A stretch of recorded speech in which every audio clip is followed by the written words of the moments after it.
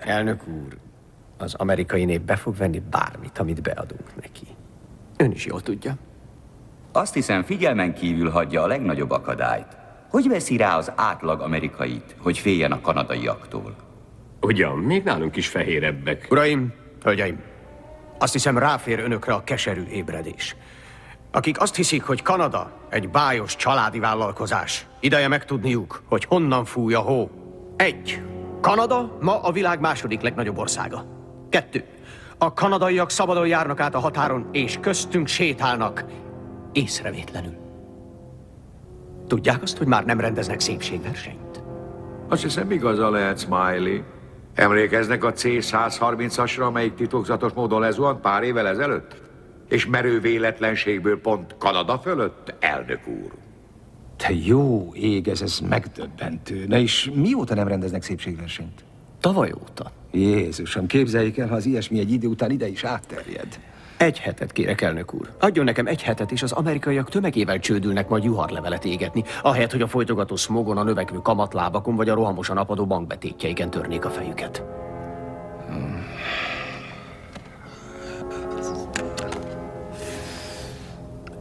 Egy hetet, uram.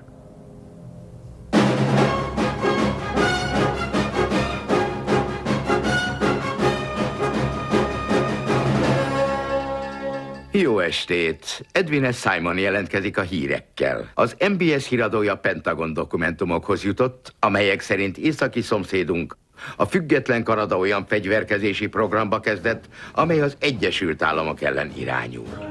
Kanada, amelyet mi csak udvarias és tiszta szomszédunként ismertünk, szocialista kormányzata vezetésével jelentősen megnövelte katonai erejét az Egyesült Államok határán. Én nem szeretem Kanadát. Ott rettentő hideg van. Kanada minden országnál több amerikai tulajdont birtokolt. A kanadaiak itt járnak közöttünk. William Shanner, Michael G. Fox, Monty Hall, Mike Myers, Alex Trebek. Kanadaiak mind, és itt járnak közöttünk.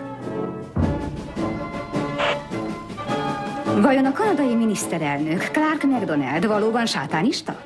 A félelmetes kanadai haditechnika túlnyomó részét itt az Egyesült Államokban állították elő.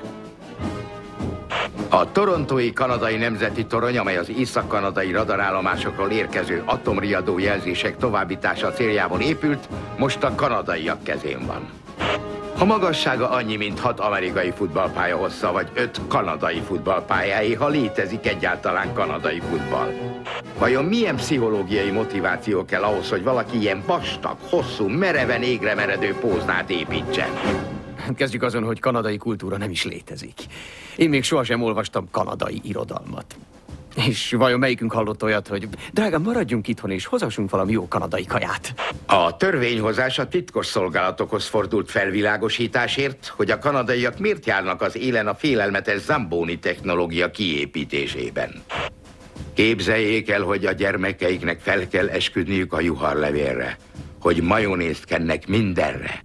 Vagy képzeljék el, hogy 11 hónapig tart a tél. Anne-Marie reggeltől estig, minden nap. Te magasságos. Pont a határon vagyunk. A védelem első vonalában. Meg kell szerveznünk a védelmünket. Igaz. Emberek, csak semmi pánik. Ismétlem, semmi pánik. Ura vagyok a helyzetnek. Hani, Cabral, Royboy meg én a vízi erőművet őrizzük. Snake, te őrzöd a fegyverkereskedést.